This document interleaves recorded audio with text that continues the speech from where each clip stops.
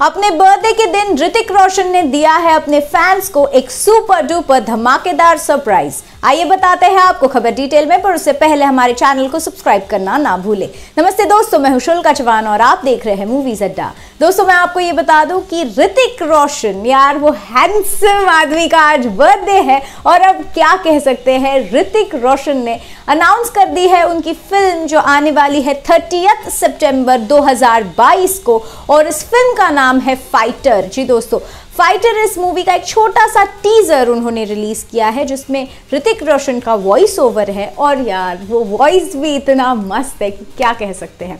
उन्होंने उसके आगे एक यू नो एक पोस्ट शेयर किया है, एक मैसेज शेयर किया है, जिसमें उन्होंने शुक्रिया अदा किया है सिद्धार्थ आनंद का और उनको खूब सारी, ढेर सारी शुभकामनाएँ दी है, क्योंकि सिद्धार्थ आनंद प्रोड्यूसर बन रहे हैं। उन्होंने उनको डायरेक्ट किया है वॉर और बैंग बैंग इन फ़िल्मों में। पर अब सिद्धार्थ आनंद का ये फ़र्स्ट प्रोडक्शन है मारफ्लिक्स पर ये मूवी आने वाली है और इसमें है none other than Deepika Padukone as Hrithik Roshan को स्टार जी दोस्तों तो आपको क्या कहना है इस फ़िल्म के बारे में? और आप कितने एक्साइटेड हैं हमारे ऋतिक रोशन को फाइटर के अंदाज में देखने के लिए? बताइए हमें इन द कमेंट्स बिलो उसी के साथ साथ मैं आपको जाने से पहले ये बता दूँ कि आज ऋतिक रोशन का बर्थडे है तो विश करना ना भूले।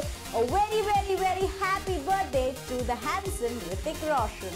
Bataiye hame in the comments below. I'm waiting to hear you. This is Shulka Chavan and you're watching Movies at Dark.